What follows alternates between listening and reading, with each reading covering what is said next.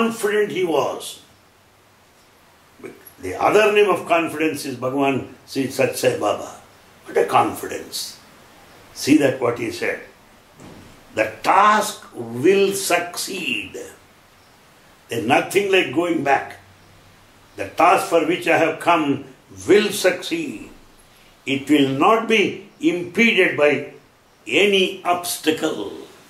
It will not be impeded any obstacle, meaning nothing come along the way of his will. Nothing can stop him. Things will happen as he designed and as he decided. And then Swami also said, it will not be limited. It will never be slowed down. See that. He's so confident that his mission will never be slowed down. It will never stop. It will succeed.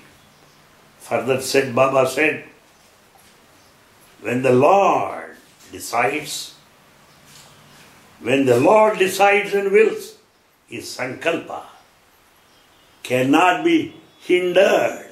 Hindered. That's Vajra Sankalpa. His will is as strong as diamond. Nothing can happen. It has to happen as he willed. It must happen as he decided. That's all. That's what Baba said. And Swami further said, this body has come because of divine sankalpa, divine will. And why has he taken the human form? May be the question. And this is the answer given by Baba. What did he say? He has come here to uphold the human values, Satya Dharma Shanti Prema, to bring the whole world under one canopy, the fatherhood of God and brotherhood of man, to come to the rescue of the devotees, to encourage the pious people, to put people along the right path. He has got a divine program which has got to fulfill. And he fulfilled to a great extent that we come to know slowly by and by. And then he has not left the body all of a sudden. Please understand, my friends. Because he himself said, departure was conscious exit. He knows when he should leave. Gradually, he will allow his body to go. Nobody can force upon him. That's what Baba said. For your reference, I may tell you what he said. Uh, rather, yes, that's what he said in his talks. Yes, just one second. Yes. Sathya Sai Speaks, Volume 4, page 49, December 17th, 1964. I think it's quite enough for all of us to know how he could peep into the future, how he can get into the future and warn all of us against these threats, against these possible dangers. And then, here, my friends. There's a claim by somebody. Swami did not complete his mission. And the rest of the mission I have to fulfill, complete it. Oh. I don't know how people believe such statements. Sathya Sai speaks, volume 3, line 15, I mean page 15, July 6th, 1963. Long, long back. What did he say? Nothing can halt, nothing can stop my work as an avatar. Nobody can stop me. And further he said, in his birthday discourse in the year 1968, that is the 43rd birthday, what did he say? This task will succeed. What I decide, what I designed, what I planned will succeed. Nobody can stop. Impossible. It will not be slowed down. That's what he declared. in one of his uh, birthday talks, year 1968, 43rd birthday. And then he also said, I am engaged in the talks, task for which I have come. I am always engaged. Swami is very busy to fulfill the task for which he has come. What is it?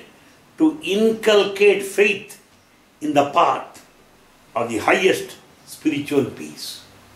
The highest spiritual peace. We don't have peace today.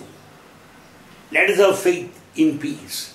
Swami has given us a way, has taught us how to live peacefully, how to live blissfully. That's what he said.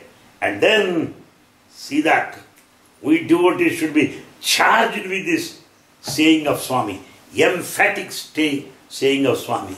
What does he say? I shall not stop or retract a step. I shall not stop or retract a step. I will not go back. I will not step down even a single step. I will not stop in any case. That's what he declared on that day. Nobody can stop me. And then nothing agitates me. Yes, understand that. My resolve must prevail. My task will be accomplished. My mission will succeed. That's what Baba said. What emphatic statement it is. What a divine declaration it is. Only he could say that. Sathya Sai speaks, volume 1, page 16, September 9th, 1958. That's what he said, my friends. Let us understand it. Now I come to a different uh, dimension. Some say he left a lot of work behind and we must complete that work. And we must complete that work very fast. We should speed up our work left over by him. And further foolishness has gone to the climax.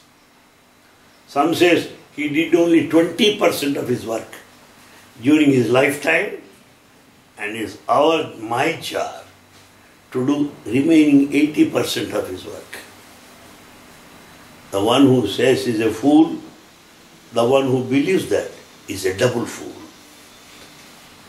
You are capable of doing 80% of work, while Avatar could accomplish only 20%. Did he say that to you? Or did he say to the public? When you openly said, I will succeed, no one can stop me, then how do you say that 80% is left over? Is there any truth in that statement? And then, it's false to say that there's a lot of work left behind for me to do. And the work has to be speeded up. And that, that he will do it in, in this so-called, so-called subtle form. That's also utterly false. And further, the climax of madness is this that subtle form will do greater work faster than Sathya Baba himself. Ah, the climax to one's own foolishness. I don't know. How can we how can you be faster than him? Well, what with what authority you would say that I will fulfill his mission? How can you that? How can you do that? Therefore, in all these years of his physical form on earth, he has done far less than what this subtle form could do it. That is the claim of people. Impostors, false gurus. How do you expect? Expect such statements, having been with Swami. What should I estimate myself if I follow such words? Or how should I consider myself if I believe such words, believe such false claims? I have to blame myself. The man who claims may have his own selfish reasons, but I should have my intellect, some reason. Please, my friends, exercise the power of discrimination. Judge for yourself. Wake up. It's time to wake up.